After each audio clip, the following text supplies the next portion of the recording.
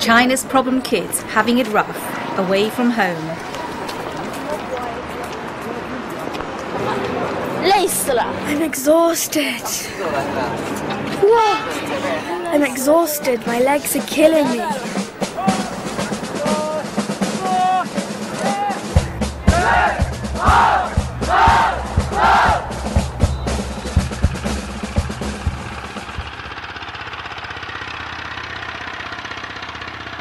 Early dawn on the outskirts of Wuxi, a small town to the east of Shanghai.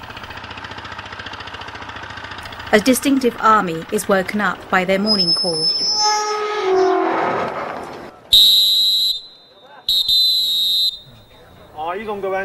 This is China's first Brat Camp, an unusual mobile school designed to reform spoiled kids, school dropouts, and troublemakers.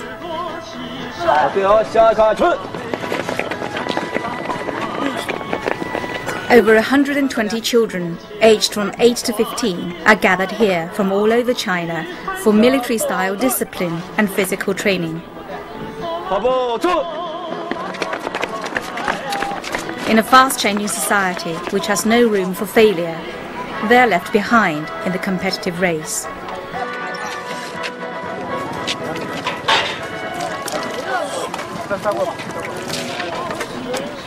Breakfast is simple. So is the method used to help them transform. A long march, covering in this stretch a total of 800 kilometers.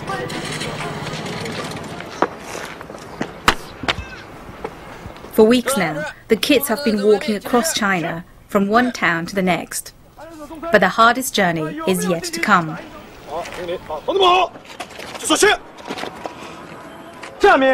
A tough battle is coming up for you all in the next 48 hours. You are expected to do intensive marching, as hard and fast as you can. Do you have the strength to make it? Good. Now forward. Commanding this unusual troop is the 26-year-old supervisor Guan Zhixiang. Our recruits here are what everyone calls bad students because they've got bad grades and bad manners. But we think they are very bright, they are strong characters. Their problem is a lack of self control and willpower. They are easily defeated. All the children on the march resent school, but each has a different story.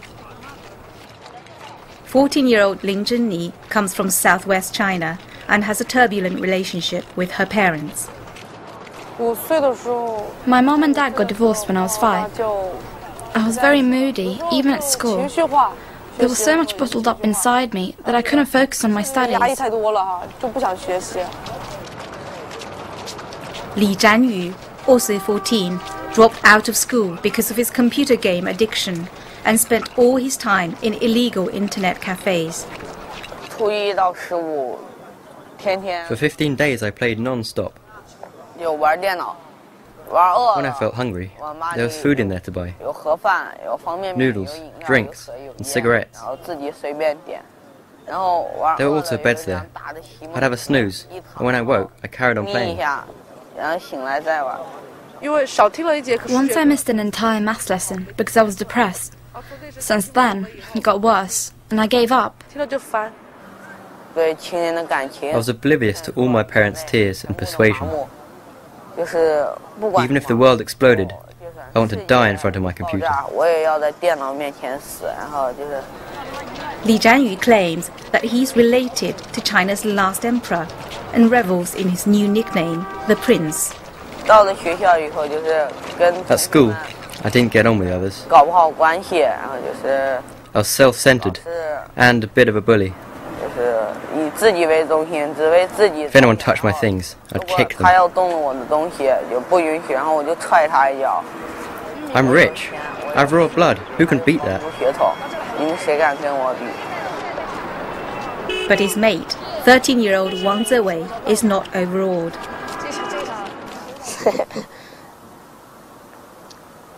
跟我比？ But his mate, 13 year old Wang Zewei, is not overawed. 我 The prince, huh. Everyone here who knows him thinks he's incredibly pretentious. Even now, he hasn't changed his habits. And he's always full of bullshit. No one takes him seriously. But Wang Zewei has his own secret. 他们跟我讲你打架特别凶哎，是真的吗？不是， 打架凶都是装出来的。No, not really. It's just a pretense. If you don't give them the impression that you're the tough guy, then you don't really stand a chance. Because of that, they'll bully you. Wang Zewei had taken constant beatings from his dad for playing truant. I remember there was this one time when my father beat me with a stick. He hit me so hard, my backside was black and blue. It hurt so much that I never quite forgot that pain. I thought to myself, if you carry on beating me, I will kill you. 老师和家长都说。 my teacher said to me, There are so many divorced families.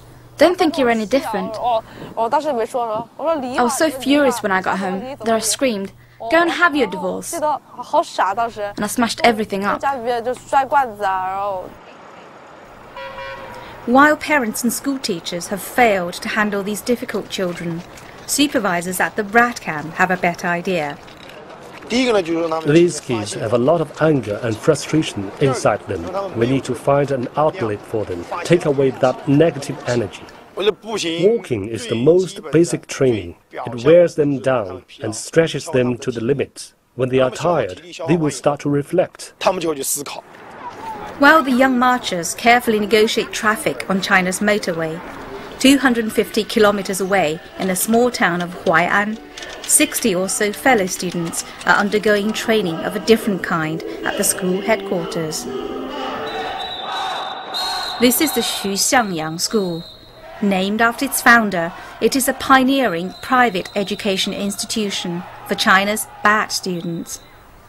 Bucking the trend of elitism is the founder and headmaster, Mr. Xu, a 46 year old war veteran with a business acumen. Everyone believes that if you get into a university, you are a good student. If you can't, you are bad. I do the opposite. And I deal with the bad students. I don't believe anyone is bad. Mr. Xu's experiment began with his own son, who had a hard time at school for being a poor achiever. Now his son is a successful graphic designer in South Korea. My son was asked to stand outside the classroom in the biting wind, and the boy had a running nose. I said, Where is your school bag? He said, My teacher threw it away. I was furious. Oh, How can you judge a child by his grade only and label him as a bad apple? Once he takes on such a label, he slips further. Bad grades leads to bad behavior, and no one cares about him anymore. Convinced that his son was wasting time at school, Mr. Xu started to teach him at home, a bold decision in a culture which reveres formal education and relies much on state provision. But the Chinese Education Authority considers one in six of its 300 million school children as bad students. So a market opportunity presented itself. An old Chinese saying tells us that teaching should be flexible to suit individual needs. These kids don't fit well within normal school scheme. Mr. Xu's curriculum is simple, the long march. And for restless children, the devil makes work for idle hands.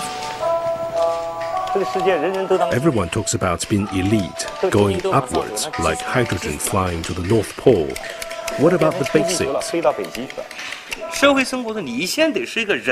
You have to be a man first, a healthy, balanced man who knows how to communicate your own thoughts. As a soldier who fought in the Sino-Vietnam War, Mr. Xu was brought up by his revolutionary mother. His family tradition has left him with little doubt about putting his school under a military regime. The military management is the most effective form of management. China's best selling book in 2006 was Learning from the Liberation Army. There are lessons in it for businesses, schools, and social institutions. And Mr. Xu's school seems precisely a hybrid of the three. At more than $3,000 a year, the fee here is considered expensive in China. But as the school's reputation grows, more and more parents are sending their problem children here, hoping for a cure.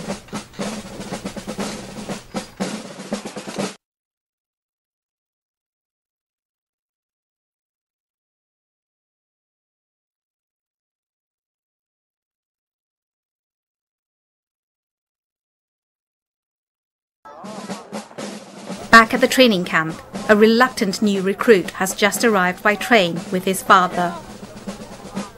Dreaming of becoming a pop singer, the boy is determined to leave school to learn guitar.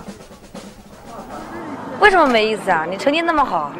我想干我想干的事情，不想。梦想都是要付出代价的。His disappointed father gives him the ultimatum.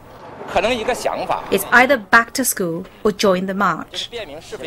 成功的明星们呢，都是付出代价的，而不是说你富于表面。他们付出代价，但是我富于这种比较虚伪的啊，头发像了，身穿的衣服像了，这都是明星了。我愿意。行啊，你应该确实应该接受锻炼了。嗯，对。刚才你说说是学习为了老师，你为什么有这样的想法呢？我们在老师。学习的知识是你自己的。对啊，是我自己的，但是我在老师里 面。眼里面我就不是个人，我只是他分数表上的一个数字而已。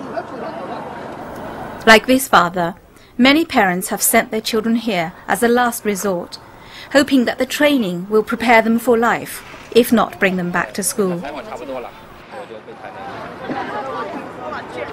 Li Zhanyu, the prince, has been told off by Supervisor Guan that morning. I was asked to make bread for everyone, again and again, and no breakfast. It drove me mad. When we got up this morning, he said, Go ahead, everyone. I'll clean up here. I checked afterwards, and it was a mess. I asked him to do it a second time. It was again a mess. I made him do it ten times until it was okay, and he started crying. Whatever you do, even the very simple thing, you've got to do it properly. Only then can you manage other things.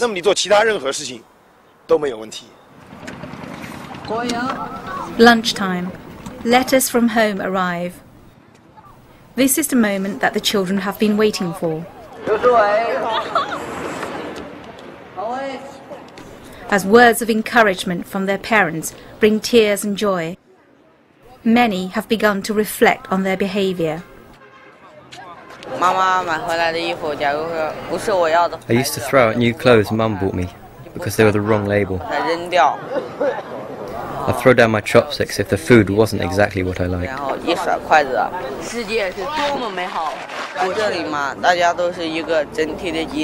Here, I'm part of a team. The supervisor is not going to treat you differently because of your surname. If others get one candy, I won't get ten. These kids need different things. Some need encouragement, some need telling off, still others need ignoring or even attack. 教会人锻炼，锻炼一下自己。 呃，绝对服从，坚决服从啊！第一服从，不服从，戒尺，当头棒喝。老徐说的话。你被打过吗？戒尺啊？这那种感觉啊，简直真真的啊太爽爽了！爽了！当时我的手真的变成一只熊掌。那个又青又紫又红。But there's also the soft touch. During a break, the children are taught a new song about motherly love to help them reconnect with their families. The song strikes a deep chord with Lin Zhenyi, In a story familiar all over China, she boarded at her teacher's house for three years, while her divorced mother was swept along by China's economic boom. On New Year's Eve, I felt really homesick. I cried and cried. In the end, my teacher had to contact my mom. When mom came, I cried even more and wouldn't let her go. Then mom said, Good girl, I need to make more money before I can take you home.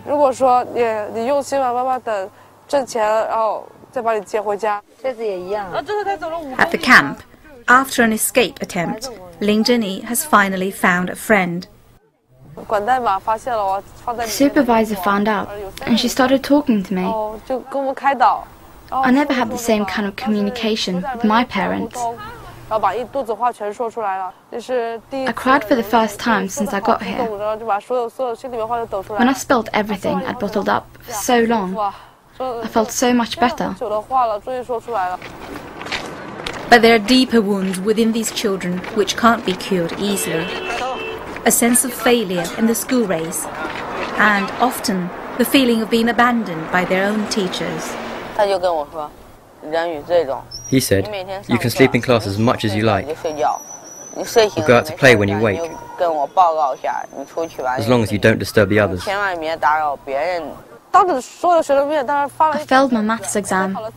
He said in front of everyone, What's your head for? Is it for eating pig food?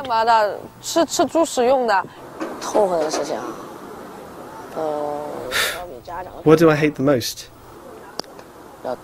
I hate the beatings from my parents. I hate the kids bullying me at school. I hate the teachers nagging and their constant sarcastic comments. I also hate the endless amounts of homework. At home, some anxious parents are following the progress of the march on the school's website. But many worry that once the march is over, these children still have to face an extremely demanding school timetable. They get to school by 6.30 and come home for lunch at 11.30. Then back to school from 1 p.m. until 9.30 p.m. with just the one hour dinner break. Zhu Zhongfang's family owns a supermarket chain. Her only son dropped out of school because he could no longer cope. With this one-child generation, the only thing for them to do is study, study. If he studies well, he's God, he's the emperor. The whole family move around him. Once an anxious father himself, Headmaster Xu has plenty of empathy with the parents. But as a self-made educator, he thinks that the parents are also part of their children's problem. All their hope and drive come from the only child. That's not going to work. The parents' generation was never able to fulfill their dreams. Now they are forcing it upon their children.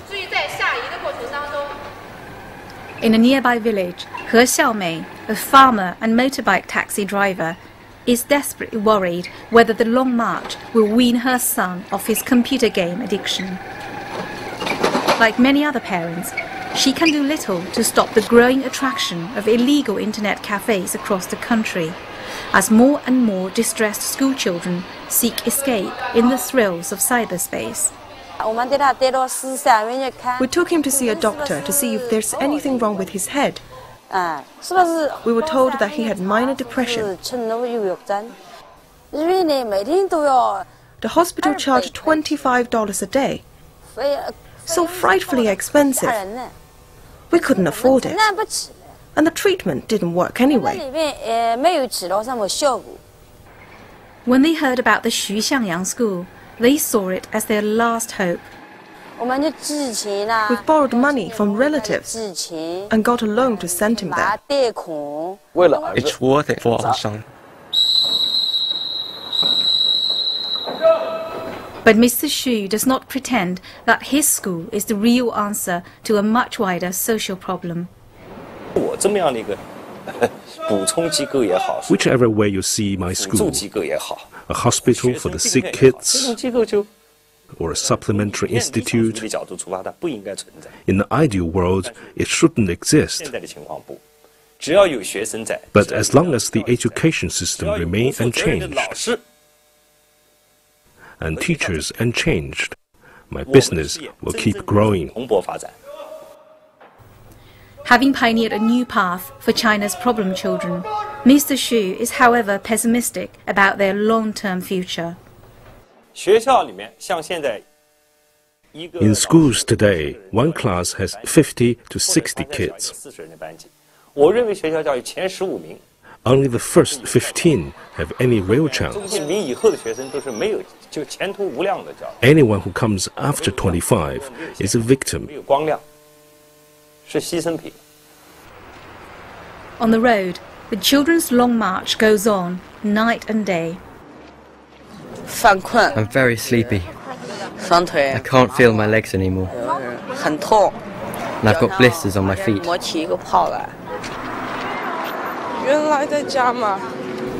When I was at home, I never cared about my mom's feelings. Now I'm away from home. I feel lost. I realize how selfish I am after coming here. And I feel guilty towards my mom. I want to show her with action that I'm great.